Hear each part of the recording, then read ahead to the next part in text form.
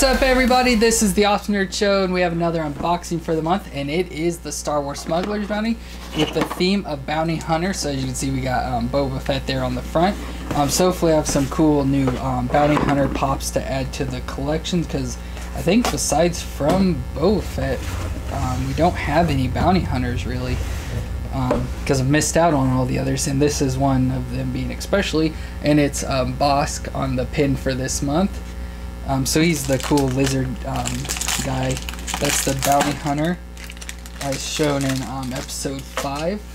And then the patch um, has um, Boba Fett on it with the little Mandalorian patch or yeah logo there on the bottom. So that's those are really cool. Um, not unexpected. So then we have our shirt for the month, and it is looks like another pop shirt, but it's not the got the pop figures on it. But this is really cool because it looks like it has the various bounty hunters shown in um, Empire Strikes Back and stuff on there. So we have um, Zuckuss, 4-LOM, IG-88, Boba Fett, um, and Bossk. I think that's it. I can't tell. Yeah. So it's got the four in there, like little character drawing stuff. So has their names, um, some of their weapons, and all that stuff. So that's really cool.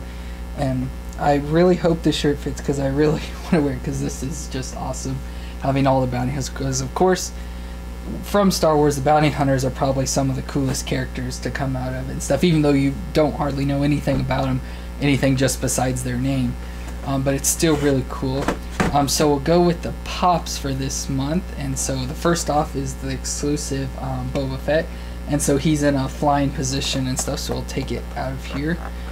So this one is uh, more detailed and design, and of course has the um, I guess so I'd be like jetpack. Uh, fire coming out of the back of him compared to the regular one where he's just standing there. So that's really cool. It's I like how they redesigned this. Um, so it has the platform base, but still has the Star Wars on the front because um, all the Star Wars ones have the little platform bases that they stand on. So it's cool that they um, kept still put the Star Wars logo there on the front and everything.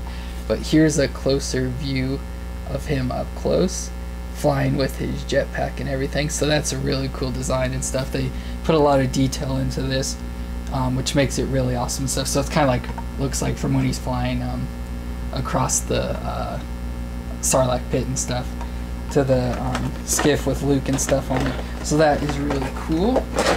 Then we have another pop for this month, but the box is really badly damaged. So that really stinks I don't know how this happens because the inside of the box is perfectly normal, no damage or anything, but yet this box is completely destroyed. Um, so that's disappointing since the boxes are a big part of a collection and stuff, and it's just kind of destroyed and everything. Um, but we'll just try to take him out anyways. And so this is um, IG-88. Kind of looks like the Tin Man, or the Wizard of Oz. Um, but once again, another one of the um, bounty hunters and stuff, and it's just a robot um, guy that likes to kill people, I guess. And so that's really cool. It's weird though how thin he is though compared to other pops and stuff. Just um, it's not part of their normal pop design and stuff, but that's um, really cool with the new stuff they're doing um, now nowadays and stuff. Um, but I guess we'll use this box since the other one's all damaged. But I did notice on the back of the boxes here there is some um, things I would like to show off for all the pop collectors out there. There are new pops coming out, as you can see.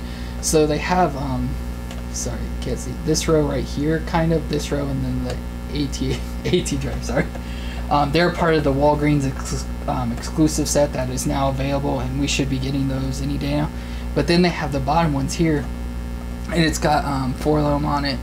Um, so the other bounty hunter that was on the shirt stuff. Then there's the Royal Guard, and then some other various um, Lukes and stuff like a handless Luke and everything. So those are some cool new pops got to be out um, or on the lookout for and stuff.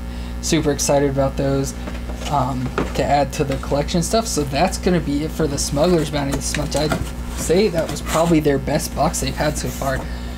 Because the problem with Smugglers Bounty been so far is um, they've not really had big outstanding pops, and then they've uh, made a lot of remakes, just different molds, kind of like um, the Boba Fett but yet he's in such a different awesome design and then the base and everything that makes it so cool and so this has made it awesome so you get two uh, bounty hunters then the awesome shirt and everything So that was just overall, like I said, probably their best box they've done so far. So hopefully they can keep up with this. And I do know that the, let's see, this is May, so the July box, which will be the next one, is Jabba's Palace. So that's going to be awesome. Um, me being a huge fan of everything related to Jabba and stuff. So hopefully we get some new um, pop figures um, related to, um, to him and stuff. And so that'll be awesome to look out for. Um, so that's going to be it for this month. Be sure to um, leave comments if you have anything to say about the new pops or our damaged box. like the video, subscribe for more, and we'll see you next time.